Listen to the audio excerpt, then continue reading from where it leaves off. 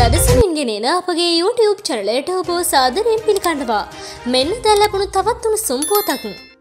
යුක්්‍රේනයේ කිව්හි සිටින ඉන්දිය ශිෂ්‍යයකු අගනගරයෙන් පලා යමට තැත්කිරීමේදී වෙඩිපාරුට ලක් ඇති බවට වාර්තාවනවා. තුවාල ලැබූ ශිෂ්‍යයා නගර මධ්‍යයේ පිහිටි රෝහලකට ඇතුළත් කර ඇති බවයි ඉන්දිය අමාත්‍යවරයෙකු වන වීකේ සින් සඳහන් කළේ.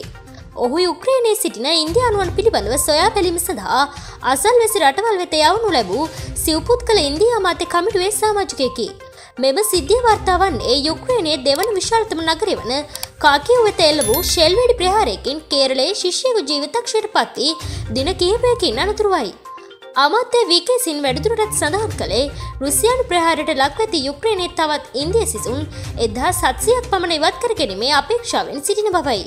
එහිදී කිව් අගනුවර සිටින ඉන්දයානුවන්ට ප්‍රමුඛතාවයක් හිමිවන බව ඔහු වැඩිතුරටත් සඳහන් කළ සිටියා. මෙවැනි උණුසුම් පුවත් ලරසනින් දැන ගැනීමට අපගේ YouTube චැනල සබස්ක්‍රයිබ් කර බෙල්ලයිකනේ ක්‍රියාත්මක කරන්න.